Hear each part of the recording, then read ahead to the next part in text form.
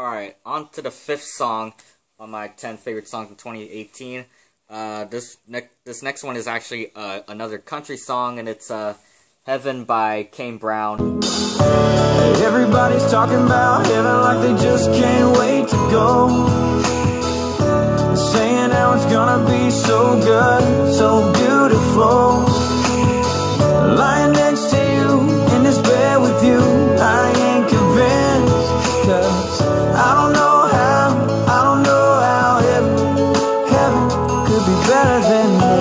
I like that song because uh, that beat is very smooth, and uh, man, Kane Brown has that very, you know, he has like that really deep, really deep voice that that he can sing.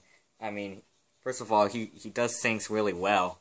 You know, I just really like his, you know, his deep, his really deep singing voice. You know, definitely sound, um, definitely sound like a country boy. You know, um, yeah. Uh, this is definitely a great, a great country song. You know, one of the greatest song, greatest country songs of 2018. Just like, just like showing you Bebe Rexha and Florida Georgia Line meant to be. You know, yeah. So, uh, yeah, that's another uh, great country song that I uh, like to listen and pretty much one of the best songs of 2018.